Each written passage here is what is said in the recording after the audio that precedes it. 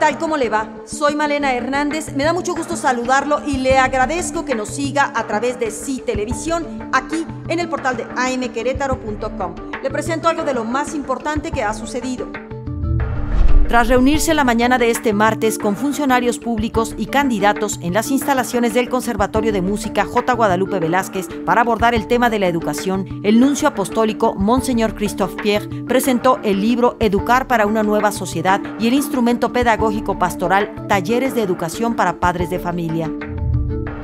Los ciudadanos somos corresponsables de la corrupción, aseguró el empresario Alejandro Martí, quien durante una conferencia magistral realizada en el marco del vigésimo primer aniversario de la Universidad UCO Mondragón, señaló que fortalecer las instituciones es la única manera de salir adelante.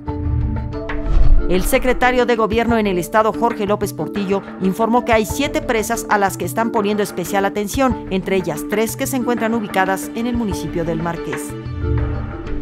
Se pretende que en 15 días las vialidades del municipio que están siendo intervenidas en el marco del programa intensivo de bacheo queden en óptimas condiciones. Gustavo Cepeda Ruiz, el secretario de gobierno del municipio de Querétaro, recordó que la administración municipal tiene un fondo revolvente de 10 millones de pesos que podrán ser utilizados para contingencias de esta naturaleza.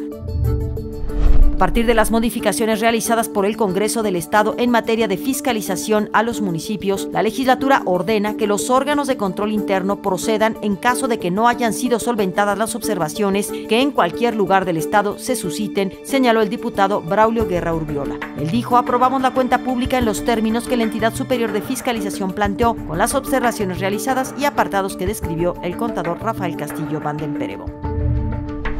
país está secuestrado por los partidos políticos y muestra de ello fue la designación de Eduardo Medina Mora como ministro de la Suprema Corte de Justicia de la Nación, señaló Juventino Malpica Cárdenas, fundador de la Mondragón UCO.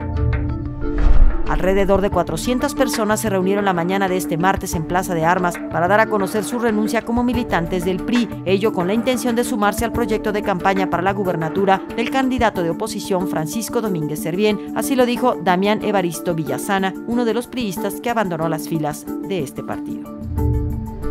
candidato a la gubernatura de Querétaro por el PAN, Francisco Domínguez Servién, aseguró que Diego Fernández de Ceballos dejó en claro que el gobierno del PAN es lo que se requiere después del 7 de junio. Esto al ser cuestionado sobre las declaraciones del panista, en donde asegura tener sentimientos encontrados y reconoce tener un afecto y agradecimiento por la persona y la familia del candidato del PRI a la gubernatura, Roberto Loyola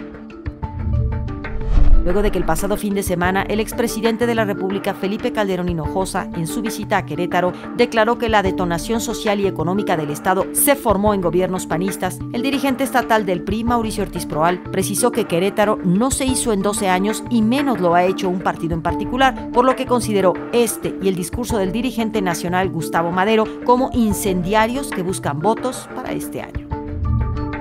La reducción de la inversión industrial en el país no afecta a Querétaro, aseguró el gobernador del estado José Calzada, quien indicó que no se devaluó el peso mexicano, sino que se reevaluó el dólar. Debido a los recortes presupuestales que ha realizado a nivel nacional la Secretaría de Hacienda, el presupuesto para Querétaro del subsidio para la seguridad en los municipios Subsemun disminuyó en 4 millones de pesos. Así lo dio a conocer José Héctor Benítez López, el secretario de Seguridad Pública del municipio de Querétaro. El recurso pasó de 91 millones de pesos a 88 para este 2015.